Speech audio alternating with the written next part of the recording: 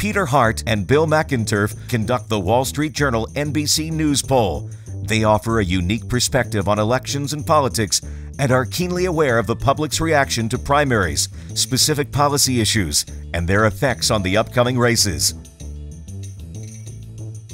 Let's suppose there were a lever on your ballot, which you could vote out every single member of Congress, including your own. Would you pull that lever? In 2010, 45% said, I'll pull that lever. 2011, at the debt ceiling time, 54%. At the government shutdown time, 60% would pull that lever. 26% of the American electorate say, if I had a chance, I would vote for an independent. All of this should strike fear in your hearts. You go along day to day and we say, we can deal with this, we'll handle this, we're here. What you're looking at is a system that people are unhappy with, that people are looking for change. They're looking for a way to be able to get something done. National Journal named Hart one of its 150 national leaders who shaped federal government policy, lauding him as probably the foremost Washington pollster for the Democratic Party and its centrist candidates. I know Washington looks crazy, but there's a difference between crazy and irrational. You have to understand what is causing this to not work. When I started running congressional races for the Republican Party in the early 80s, our job was not tough in terms of targeting. You looked up and you said, okay, let's find the seats that voted for Ronald Reagan for president, but voted for a Democrat congressman. Or the Democrats said, who voted for Jimmy Carter and elected a Republican. And, and, and when we started, that was 134 seats, where there was a difference between how we vote for president and Congress. Today, that's 26 seats. We've drawn these lines to, to be essentially not competitive and so that they're either Democrat or Republican seats. And it means that, and we're going to see this over and over and over again, the institutional concern these members have is losing a primary. And if you're worried about losing a primary, there's no middle ground or compromise because primary voters don't want that. McInturff is the pollster of choice for the Republican Governors Association, and his company, Public Opinion Strategies, was called the leading Republican polling company by the New York Times. Yet elections come down to one thing and one thing only.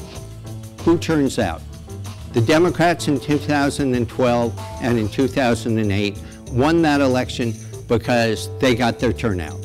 They got their turnout with minorities, they got their turnout with women, and they got their turnout with young people.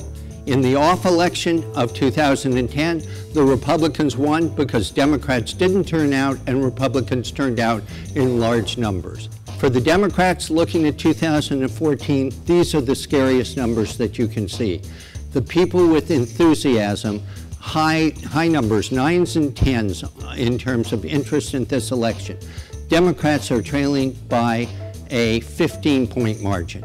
If the Democrats cannot uh, cut down that margin, obviously they're going to be at a huge uh, negative. And here's what I think the trouble for the Democrats are.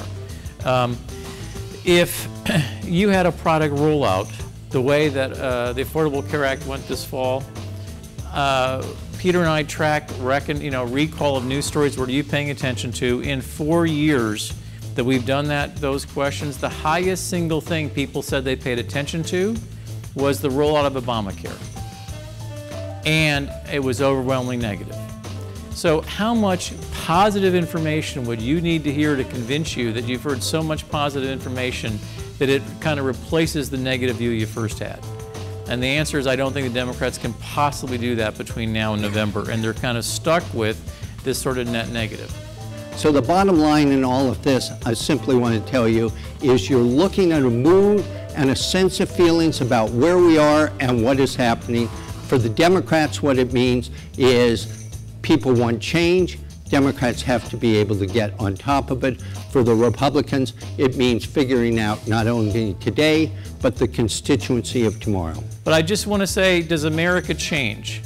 Yes, and you'll be glad to know since 1999, there's two things we do a lot more of trash TV and tattoos. So I don't want you to worry about our long term future, handing stuff off to our kids, the kind of America we have, because we're clearly going really well uh, trash TV viewing is up, and when Peter, who is, a, who is so gifted, when Peter asked people uh, in 1999, I said, Why'd you even think to ask that? Because he asked, So you or someone in your household has a tattoo? It was 19%. Today, it is over 40% saying they live in a household with a tattoo. It's a remarkable change, and so I don't worry about America's future because I know we're all tattooed and doing great. It's a human business legacy we want to leave behind us.